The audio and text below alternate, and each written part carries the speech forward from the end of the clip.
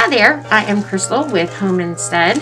I am a certified senior advisor and our home care consultant, and we partner with Avery Hall. We've been doing this program now with Avery Hall about five years, I believe, if not longer.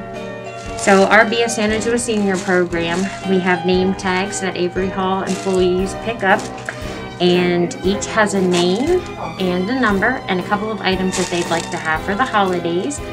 The staff usually purchases all the gifts, does an amazing job, wraps them quite beautifully, and brings them back. And then Home Instead elves come and pick them up and deliver them to the facilities that they need to go out to to provide gifts to those who need them, um, spreading a little Christmas extra joy through the holiday.